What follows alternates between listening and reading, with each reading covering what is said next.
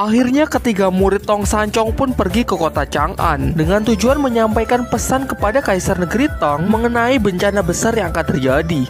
Menanggapi hal ini tentu Dewa Erlang tidak diam. Ia melaporkannya kepada Kaisar Langit sehingga Kaisar Langit mengutus dia dan 100 ribu pasukan untuk menangkap mereka. Meskipun pasukan langit dibagi menjadi tiga, namun Sun Gokong dan kedua adiknya masih kesulitan untuk menghadapi 33.333 pasukan.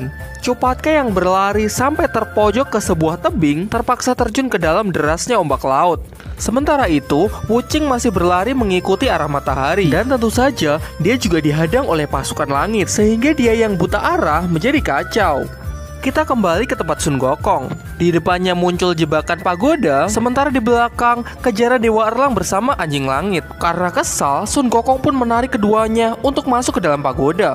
Di sisi lain, tidak disangka ternyata ombak membawa Cupatkai sampai ke negeri Tong. Sehingga di antara ketiganya, Cupatkai lah yang berhasil sampai di tempat tujuan terlebih dahulu. Sun Gokong, Dewa Erlang, beserta anjing langit kini terjebak di dalam pagoda. Di sana, mereka langsung disambut oleh Buddha kebijaksanaan. Dan bukannya membantu, sang Buddha malah memberikan mereka sebuah kuis. Di mana orang yang bisa menjawab kuisnya, maka akan dia bebaskan dari pagoda ini. Kemudian dia mulai bercerita bahwa dahulu kala ada seorang Buddha yang sangat welas asih, yang bahkan rela menyayat dagingnya sendiri untuk diberikan kepada seekor elang. Tapi anehnya, elang tersebut berangkat dari barat ke timur hanya memerlukan waktu satu jam, sementara untuk pulang dia memerlukan waktu dua jam. Nah pertanyaannya, mengapa saat pulang memerlukan waktu lebih lama? Dewa Erlang menjawab kalau si Elang kekenyangan. Sun Gokong menjawab karena si Elang terharu dengan pengorbanan sang Buddha. Sehingga dalam perjalanan, Elang itu terus memanjatkan doa. Tapi kedua jawaban itu salah. Hmm, benar-benar sangat memakan waktu ya. Sementara itu, di kota Chang'an telah dibangun rumah makan menonton monster. Cupatka yang sudah tiba di sana mendapatkan kabar bahwa Kaisar Negeri Tang mengadakan sebuah sayembara, di mana orang yang bisa menangkap monster hidup-hidup akan diangkat sebagai penasehat kerajaan. Ternyata sayembara ini juga terdengar di telinga ketiga siluman. Karena sifat serakahnya, mereka sangat tertarik untuk menjadi penasehat kerajaan negeri Tang. Di sisi lain, Cupatke sudah berhasil menemui Kaisar Negeri Tang. Ia pun menyampaikan pesan dari gurunya. Dan dia juga menjelaskan betapa mengerikannya monster ini. Kalau kena api akan semakin kuat, dan jika kena air, maka ia akan berubah menjadi naga. Tapi Kaisar tidak mendengarkannya. Ia justru mengaku bahwa dia telah mengundang petinggi kerajaan lain untuk bersama-sama menonton monster. Di tengah perdebatan mereka, muncul tiga orang yang bersedia mengikuti sayembara. Singkat cerita, Patkai pun menyadari bahwa ketiga orang ini adalah tiga siluman yang pernah dikalahkan oleh kakaknya. Mereka pun saling mencela satu sama lain. Dan karena menjaga harga dirinya, Cupatkai pun malah mengikuti kompetisi menangkap monster. Apa sudah pasti kau yang berhasil menangkapnya? Jika kau hebat, buktikanlah. Jika berhasil, aku akan membawakan sepatumu. Ah, baiklah. Meskipun harga dirinya sangat tinggi, namun Cupatkai sebenarnya nyalinya sangat kecil. Kini ia pun mulai menyesali perkataannya tadi siang karena mengingat betapa kuat dan buasnya monster kera raksasa ini. Di tengah kegelisahannya, Tuan Putri datang untuk menemuinya. Wah, ternyata cantik sekali. Patkai sangat terkejut lantaran Tuan Putri sangat mirip dengan Dik Chang'e. Diam-diam, ternyata Tuan Putri sangat bersimpati dengan Cupatkai. Melihat hal itu, tentu jiwa gagah berani Cupatkai terpanggil. Kini Cupatkai pun sangat bersemangat untuk pergi menangkap monster.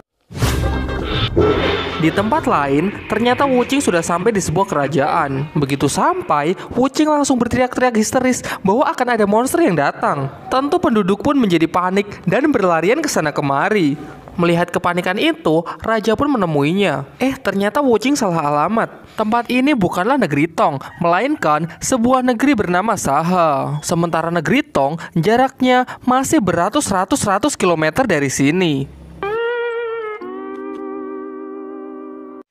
Di dalam pagoda, Gokong pun masih memikirkan jawaban dari kuis Buddha kebijaksanaan. Mereka sudah berpikir dengan keras, tapi jawaban mereka tak ada satupun yang benar. Hingga pada akhirnya, sang Buddha pun mengatakan jawaban yang sebenarnya. Si Elang berangkat pada siang hari. Saat pulang, dia harus menempuh perjalanan dari timur ke barat, sehingga bertepatan dengan terbenamnya matahari. Jadi dia harus menggunakan satu sayapnya untuk menutupi matanya agar tidak menyilaukan. Oleh karena itu, dia membutuhkan waktu yang lebih lebih lama. Mendengar jawaban konyol itu, Sun Gokong emosi dan hendak menghancurkan pagoda. Tapi ternyata hal itu tidak bisa dilakukan karena pagoda ini dilindungi oleh cahaya sang Buddha. Sehingga mau tidak mau, mereka harus menjawab kuis berikutnya agar bisa keluar dari pagoda ini.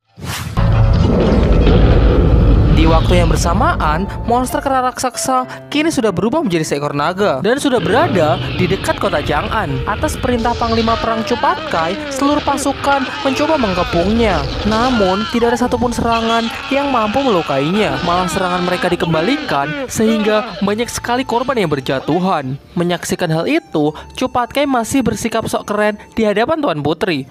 Dia malah memerintahkan pasukan untuk mundur dan ingin mengajak monster itu untuk bayuan. Wah, benar-benar menantang maut, guys. Cinta memang membutakan segalanya.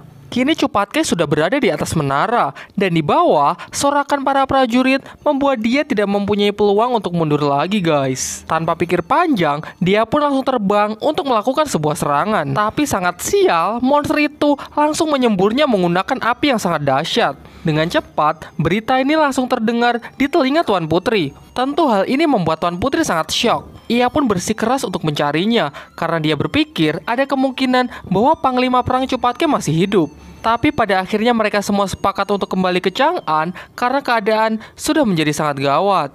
Di sisi lain, Wuching masih berlari untuk menuju kota Chang'an. Sementara itu, Biksu Tong terus berdoa akibat dihantui firasat-firasat buruk. Mengetahui para pendekar gagal menangkap monster, Kaisar sangat marah. Kemudian Kaisar mengatakan akan memberikan apa pun kepada siapa saja yang bisa menangkap monster. Mendengar hal itu, ketiga siluman licik sangat bersemangat. Mereka berencana menangkap monster dengan melancarkan serangan jarak jauh menggunakan petir dan akan langsung kabur ketika melihat serangannya gagal.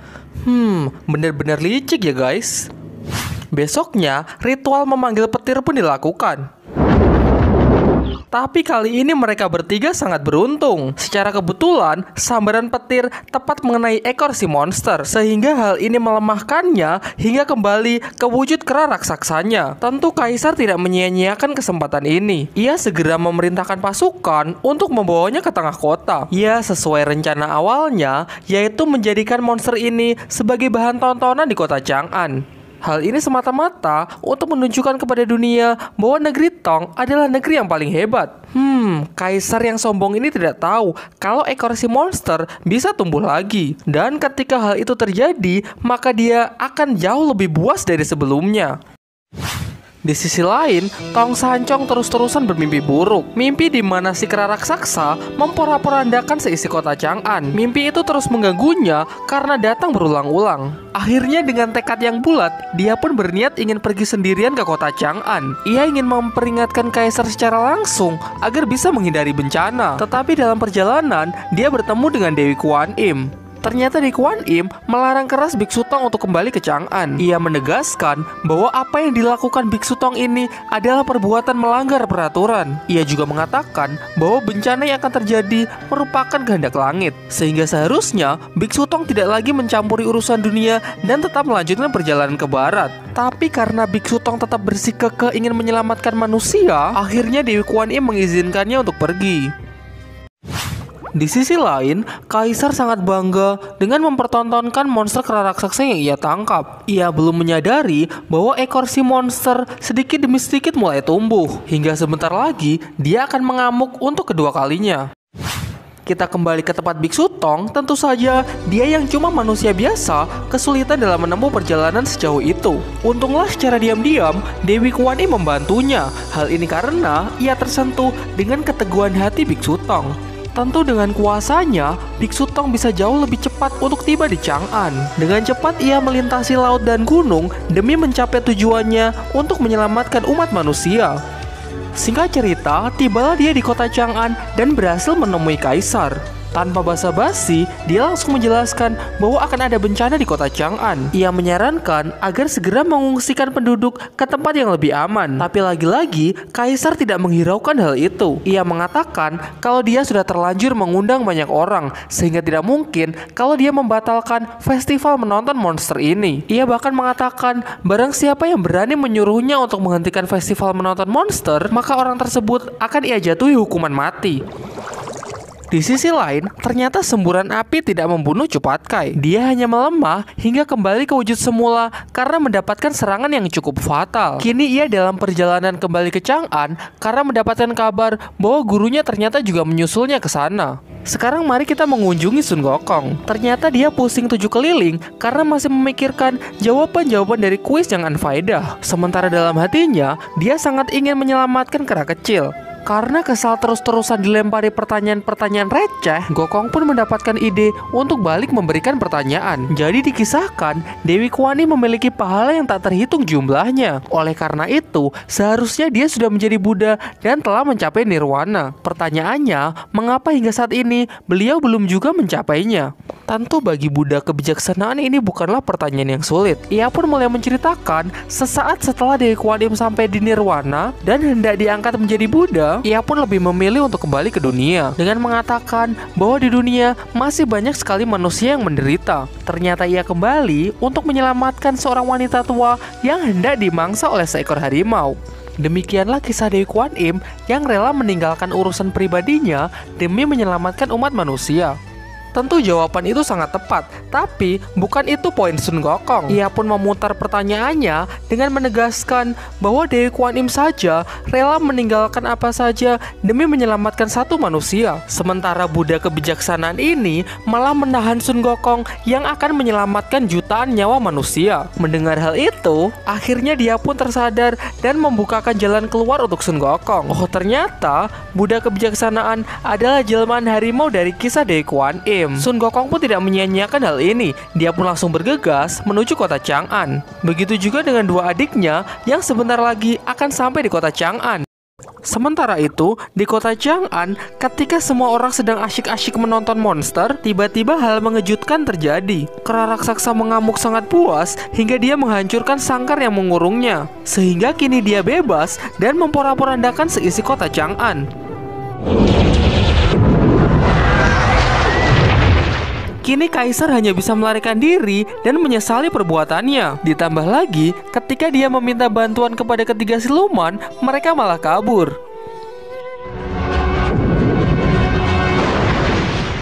Kini mimpi Biksu Tong benar-benar menjadi kenyataan. Kera raksasa mengejar mereka dan siap menginjak Biksu Tong. Eits, tapi tenang, pahlawan selalu datang belakangan. Hentikan semua itu!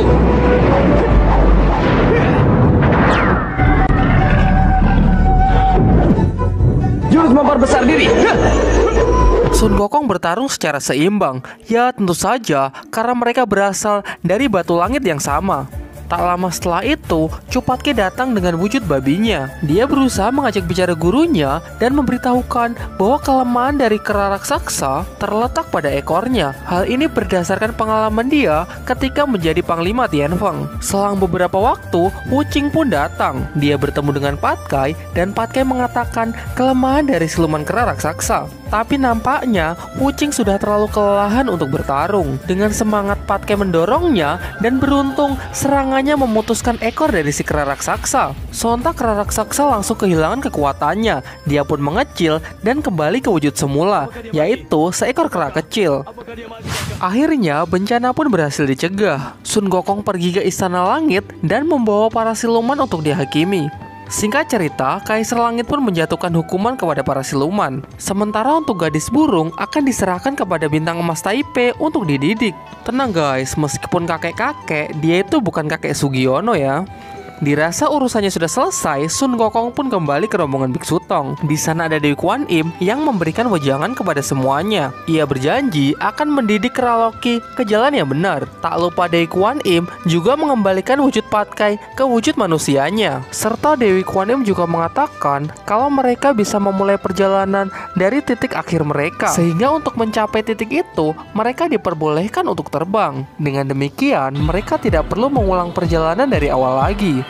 Dan cerita pun berakhir guys. Terima kasih sudah menonton dan sampai jumpa di babak selanjutnya